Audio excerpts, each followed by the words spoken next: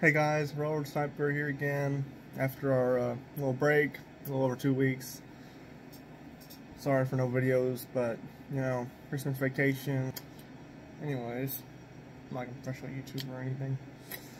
Today's video is on the Craftsman, um, see, model number CMMT12053LZ 10 piece metric crow's foot wrench set.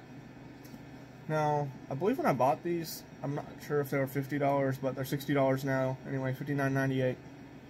So, they're definitely not cheap. However, they're one of the more uh, complete sets. This is no skips. Um, I believe they're made in uh, Taiwan. Let me look real quick, make sure. I think they even say. Let's see if this one says. Uh, I'm not sure if these are made in Taiwan or China, but for some reason I was thinking these are Taiwan. Either way, they have their, um, you know, Craftsman's uh, lifetime warranty.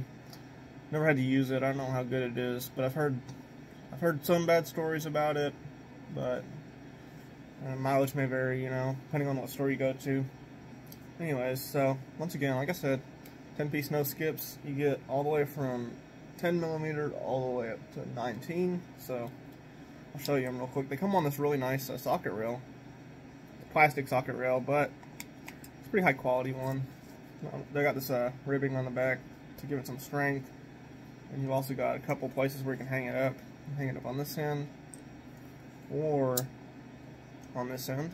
So that's pretty cool. Anyway, let's go through the different sockets. Oh, they also slide. Forgot to mention that. Obviously, you could repurpose that if you didn't want to keep them on the socket rail. So, here's the 10.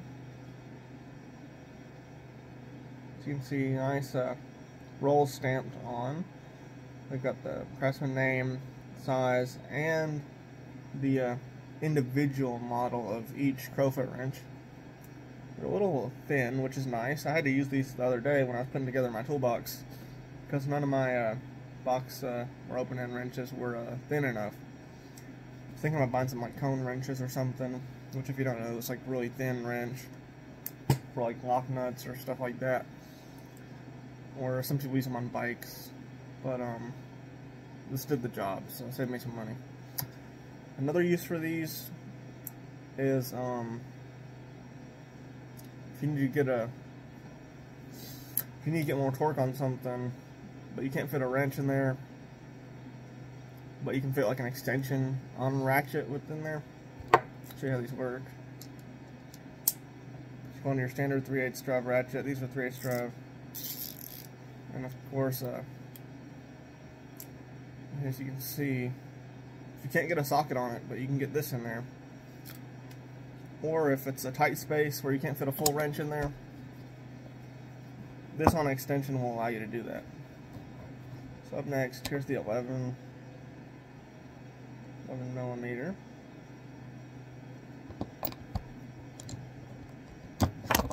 Oh, sorry.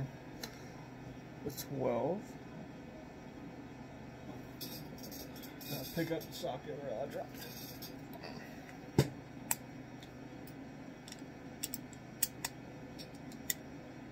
the 13.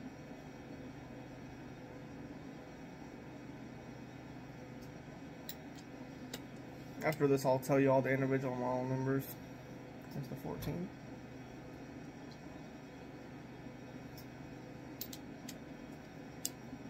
Here's 15.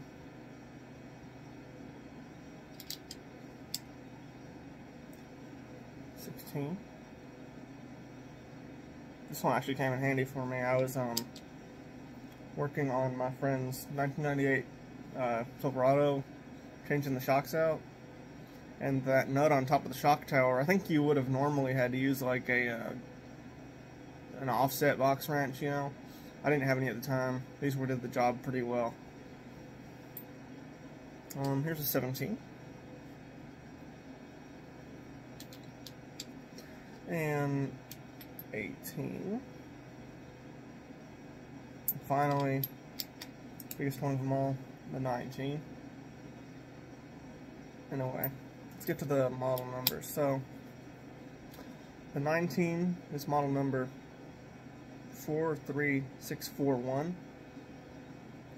The 18 is 43639. The uh, six, 17 is 43638. The 16 is 43637.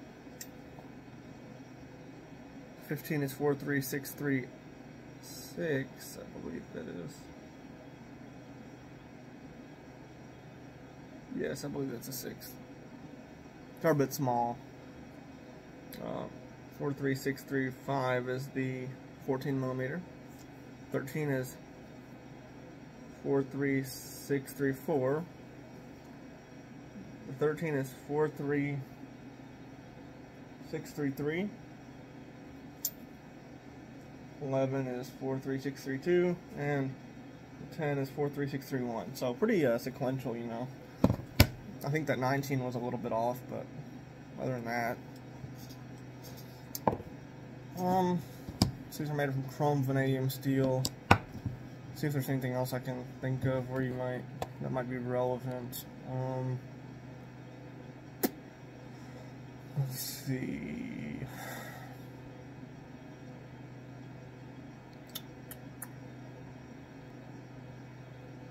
Let's go over some of the other options and like uh, in the Crowfoot range and why I picked this one real quick. So let's look at the Tekton one, which uh, at the time I bought at Meijer. And these are made in, uh, I can't even find them anymore, I don't think.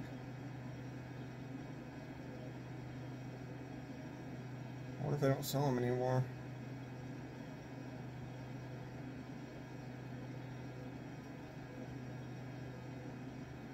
Oh no, this is it. Yeah, they, they still sell it. Okay. I see the SAE version.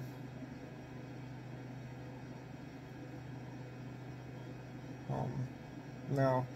Anyway, the Tekton ones were about 20 something dollars at Meijer when I got them. Um, of course, you can buy them online as well, being Tekton. Or at, uh, I think they sell them at Rural King as well. But the quality on them was just awful and they skipped sizes. Like, like I mean, of course you pay less, but I think the quality jump to the Craftsman's was was definitely worth it on these. Wish I had them still so I could show them to you, but I returned them. um, also, Pittsburgh sells some uh, crow's foot wrenches at Harbor Freight. Um, they're also a lot cheaper. From the pictures, they look pretty good, honestly. Of course, they're going to be made in China, I believe. Let's make sure. Can't really tell from the products page, but I would assume they're made in China, you know. They're $13 for a 7-piece set. You get 10, 12, 13, you know, yeah, 10, 12, 13, 14, 15, 17, and 19. So you do skip a few sizes. You don't get the 11, you don't get the uh, 16 or the 18. And like I said, I've used the 16, so that wouldn't worked for me. But, um, that might be a good set, you know. I'm sure it's alright. And plus you get the Harbor Freight warranty. If you go to the Icon brand, however... Oh wait, no, that's not right. Never mind. Still 10 piece. The Icon brand is um, no skips 10, 11, 12, 13, 14, 15, 16, 17, 18, and 19. And it comes in a little tray to put in your toolbox, you know. It's, um, let's see, yeah, $55, so it's a little cheaper. It looks pretty similar, though, honestly. I'll show you on my camera real quick. If it'll show up. Those are the icons. Here's the Craftsman. Honestly, the Craftsman, um, you might be better off going with the uh, icon on these. However, one thing about the icons is that I don't know if they're as thin as these, which, like I said, that's come in handy for me. They still do have the offset drive in though, so that's pretty cool. And like a, uh, another big benefit of Harbor Freight with Icon brand is that you get the Harbor Freight warranty. You just bring it in, get a new one, which I'm sure is a lot uh, more hassle free than Lowe's warranty on Craftsman.